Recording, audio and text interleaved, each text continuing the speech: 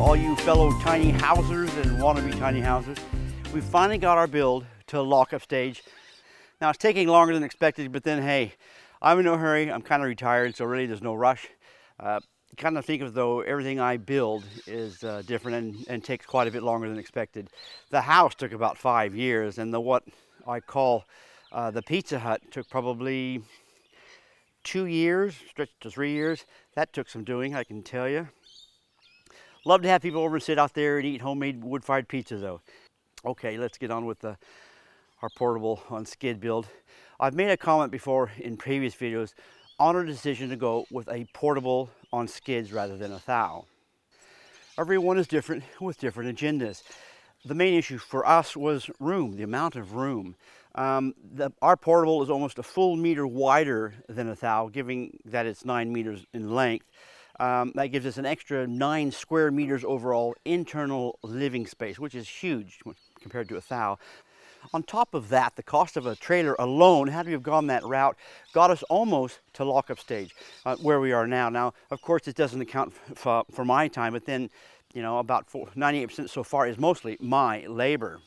Now, the last video I threw together, if you watched it, uh, showed me getting the steel skids, uh, the steel floor joist, and the floors constructed. I've now gotten our tiny house, as you can see behind me, built to lockup. So let me walk you through.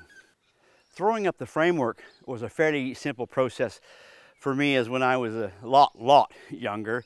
Uh, we framed houses for a living. But look, it's an exciting part of the build and you start to see the actual building coming to life. Now I use treated pine H2 for the framing mainly because of the white ant issue in Australia. Now I learned this the hard way, just how bad that these little rascals here can be. Now it costs considerably more with the H2, but then what price do you put on peace of mind? For me, it was a no-brainer. As for the bracing, now I probably overdid the bracing, but for me, I have a tendency to overbuild.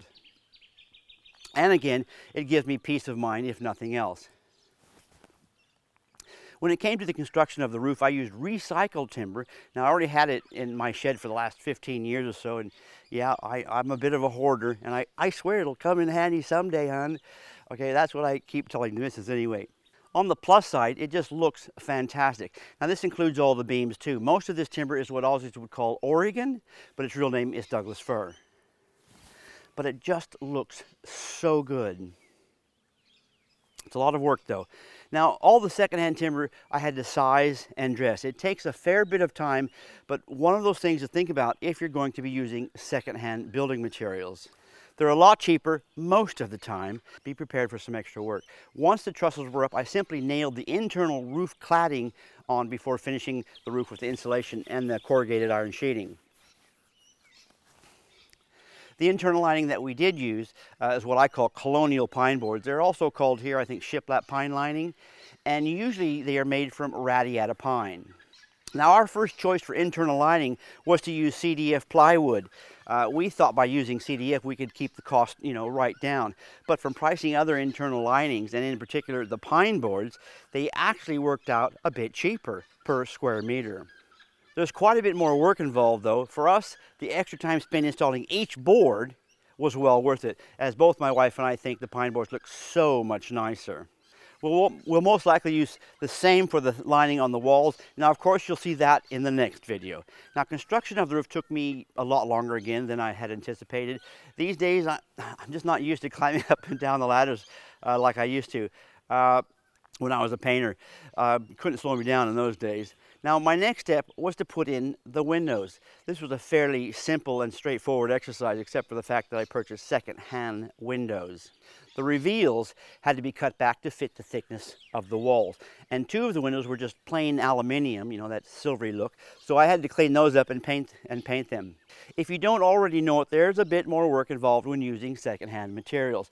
But I found over the years, even with the extra attention that's required, I know we are miles ahead on outright cost. All the windows and the two wooden doors at the front uh, cost us about $600 all up. New would be several thousand dollars, like in the order of $10,000 or so.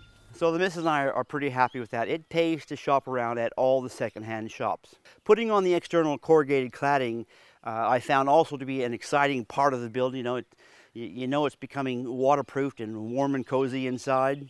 And simply, you're, you're making progress. Okay, it just gives you a good feeling all over. Now, as I had some cladding, as I had some cladding at nine meters in length on the back wall, I got a friend to help me with installation.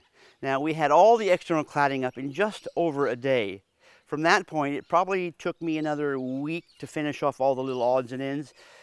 Uh, you know, the, the flashing and bits, the, the ridge capping, uh, pieces around the windows, and just other little odds and ends. So a big thanks to my friend Kent Revillion who helped out. Which brings me to this. My friend Kent and I have decided to become partners and build these for paying customers. Now we won't start that until sometime in the, uh, the new year, probably around March, April, thereabouts. But we want to put out about two or three of these per year. And of course, they will be built to our standard. Anyway, more on that at a later date. For now, my next step is running the water lines, the gas lines, and all the electrical wires. And even those have already been put in, but I haven't taken many, um, I haven't taken any videos of doing that. Now I'll definitely I'll be making the next video of the progress with the internal lighting, lining boards, uh, building and installing the kitchen, the stairs, and, and the floors. The finishing of all the timber will be a separate video, and that will also go onto my DIY painting channel. Now, I hope you enjoyed this video, and, and better than that, I hope you got some inspiration to maybe even build one of these for yourself.